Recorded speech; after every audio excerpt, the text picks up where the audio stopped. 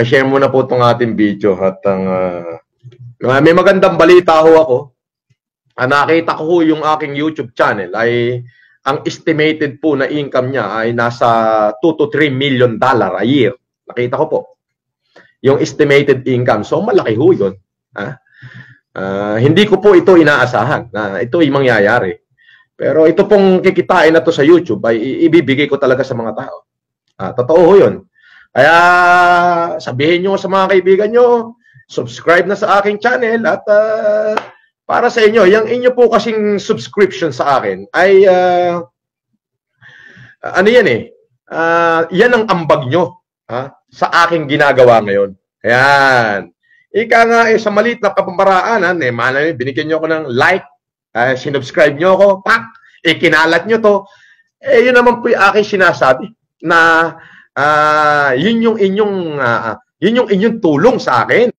Yan. Hindi ko kailangan na magpadala kayo ng donation sa akin. Hindi.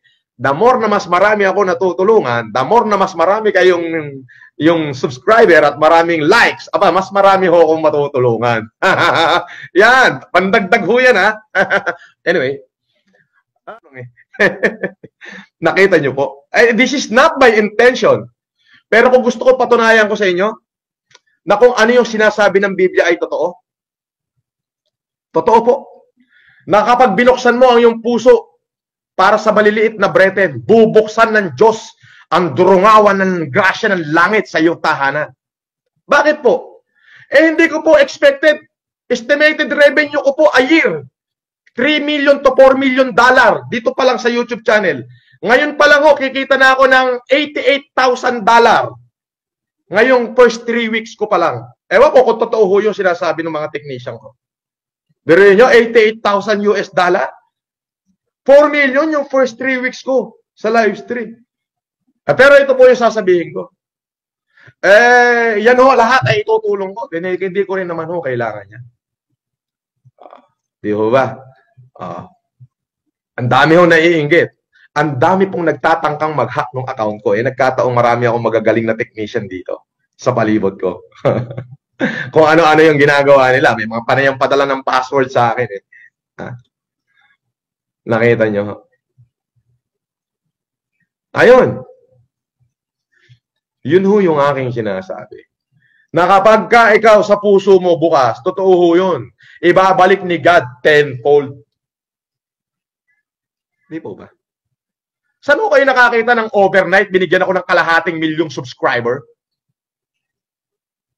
Hmm. no one can achieve. Hindi naman ako sikat. sikat lang ako doon sa mamamayang Pilipino, especially yung mga matatanda uh, na nabigyan ko ng Optimum Eye Care Program. Eh, yung matatanda naman ho, hindi naman marunong mag-YouTube yan. Hindi rin naman ho marunong mag-Facebook yan. Eh, kung yung matatanda na bigyan ko ng salamin, marunong mag-YouTube, marunong mag-Facebook, nasa 20 million ho yung subscriber ko ngayon. Hindi ho ba? So, doon ko ho napapatunayan. Kaya nga tulad do, 2007 pa lang, gumagawa na ho ko ng humanitarian. Yun nga, oh, yung si Cap Joey Suarez, at talagang madaling araw, umuulan pa dahil doon sa biktima ng Ondoy. Ayan, kasakasama ko na ho yan. Oho. Eh ngayon, hindi ho namin media yon. Tapos every, ah, halos uh, every six month, every every quarter of the year, nag-humanitarian ako, Luzon, Visayas, Mindanao, yan. Kung saan-saan lugar. Na ang tanging layunin ko lang ay makipagbigay tulong. Sabi ko, The moment na naisa puso mo yung pag-humanitarian, nakaka-addict. Hmm. Nakaka-addict. Kapag bukal sa puso mo yung ginagawa nyo, ay hindi nyo kailangan maghanap buhay. Pag God work in a very mysterious way.